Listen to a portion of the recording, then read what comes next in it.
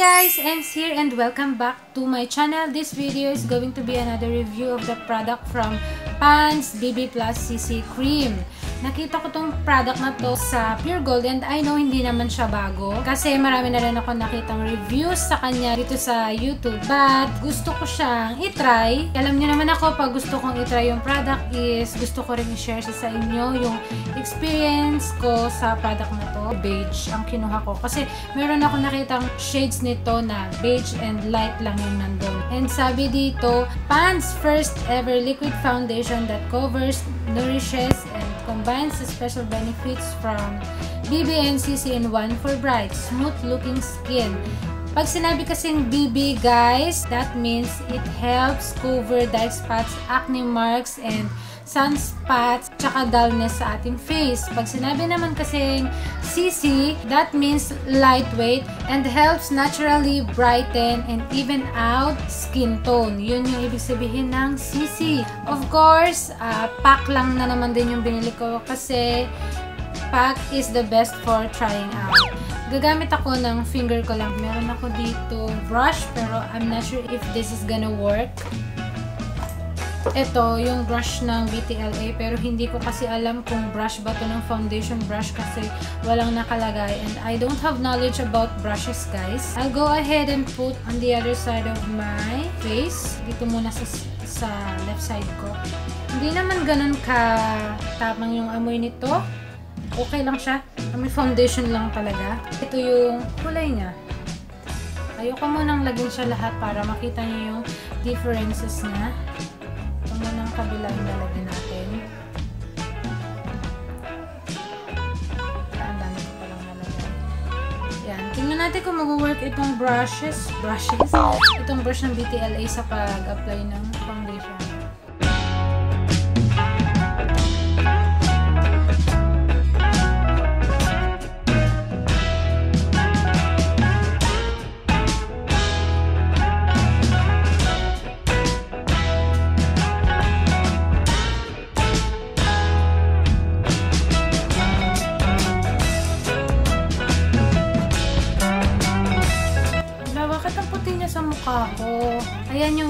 sa kabila. O, ito yung hindi ko nalagyan.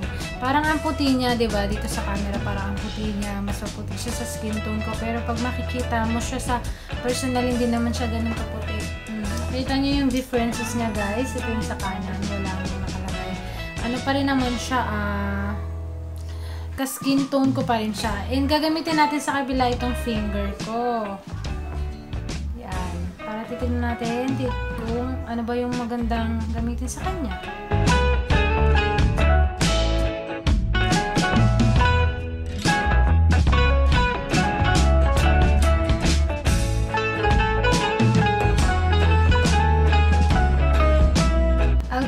Guys and finish putting this foundation on my, on my face.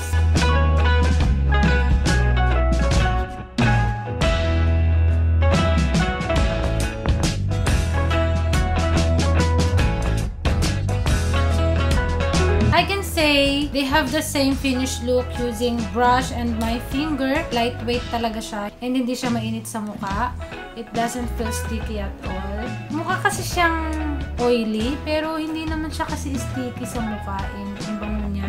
So, yan. Ang oras na po ngayon ay mag 11 a.m. na po. 10.52 a.m. Later on, after an hour, ipapakita ko sa inyo yung result ng aking face. Pero yeah, that is how it looks like right now.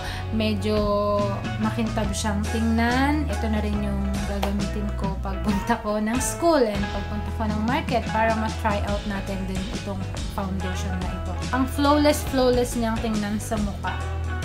And sa personal, ganun din siya. So, ayun guys, I'll be back after an hour. Hi guys! I'm back. It's already 4 p.m. After 5 hours, ito na yung face ko and hindi ako nakaramdam ng bigat sa aking mukha and kahit anong init sa aking mukha, wala akong naramdaman. For the whole 5 hours, parang wala lang akong inilagay sa mukha ko. Ganun yung feeling ko. And for CC Claims, it's check. Talagang lightweight siya. Take note guys, it's super hot today.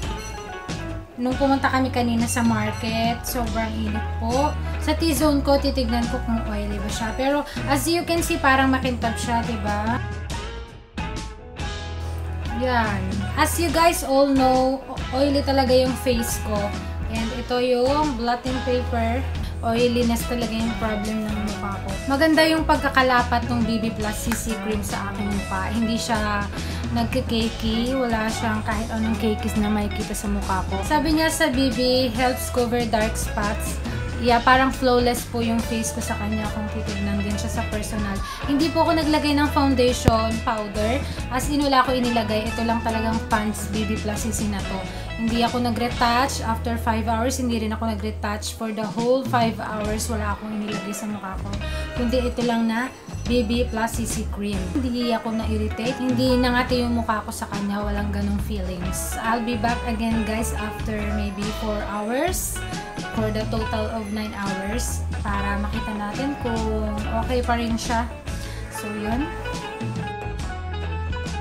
Hi guys! I'm back and it's 7.42 7.42pm. And ito na yung itsura ng BB Plus CC Cream sa aking face. Hindi masyadong makita doon kasi wala tayong ring light. Obviously, pawis ako, syempre. And hindi pa rin naalis yung BB Plus CC Cream sa mukha ko. Nandyan pa rin siya. It performed well sa aking face. For me, ang final thoughts ko sa product na yun ay maganda siya for everyday use, syempre. Kasi ano siya, um, lightweight and nako-cover up din niya yung mga dark spots and yung mga dullness sa ating face. And kung makikita nyo, parang ang flawless ng face ko, ba diba? So far ay, ang masasabi ko, thumbs up ako dun sa BB Plus CC Cream at maganda talaga siya sa face. And yung sa oiliness ko, nag-oil up pa rin ako sa T-zone ko Ayan siya, oh.